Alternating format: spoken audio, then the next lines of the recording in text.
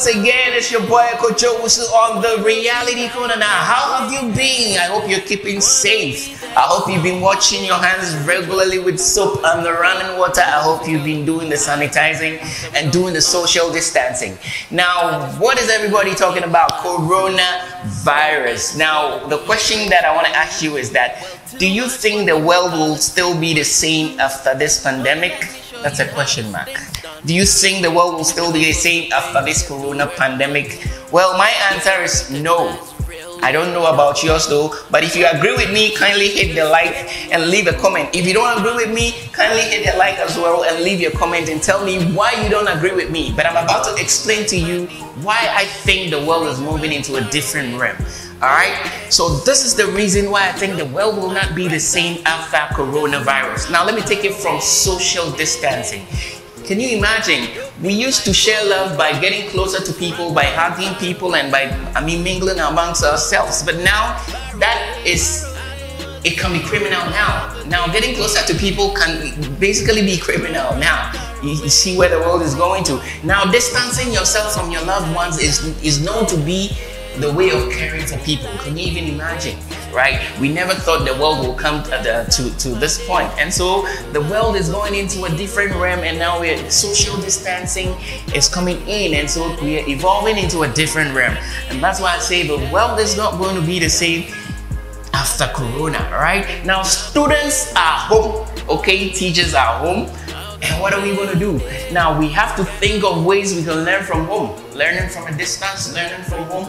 We have to think of ways of teaching from home. And I know so many people are doing distance learning. But if the country is not looking at distance learning, this is the time that we need to put our energies into the distance learning because it is something which is going to be keep, uh, which is going to go on even after coronavirus. So we have to prepare ourselves for what is coming because we are all in this global village and we can't be left out. So we should be thinking of doing stuff distantly. All right. Now workers are home. Workers are being laid off, employers are home, and all that. So, what are we going to have to do? We are going to have to learn how to work from home. We are going to learn how to work from a distance, okay? Now, I'll tell you what, we are moving into the realm of telecommuting, teleconsultancy, telenursing, telemedicine, teledermatology, teledentistry, telepsychology, and all that, and tele vision, right?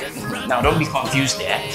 When you hear tele, it simply means at a distance. All right. When you hear the word tele, it simply means at a distance. So let's learn something today. When you hear tele commuting, it's basically working from home or working from your house at a distance, right? When you hear tele nursing, then it basically means nursing care at a distance. Now, do you know nurses?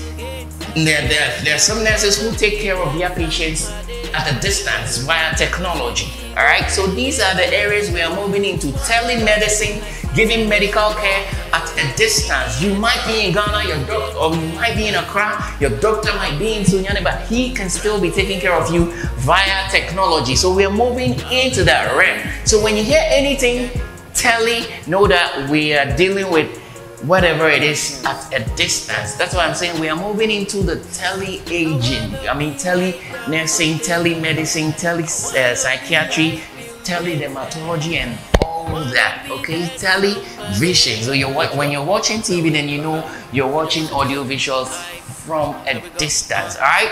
So for me, I think the world is not going to be the same again after coronavirus. So you either evolve or dissolve. It is as simple as that. So you make sure you go with whatever it is coming or you're left behind. So this is my honest opinion on that question that says that do you think the world is going to be the same after coronavirus? I think no. If you have any alternative answer, kindly hit it and put it in the comment down below and like and subscribe the page if you like this video.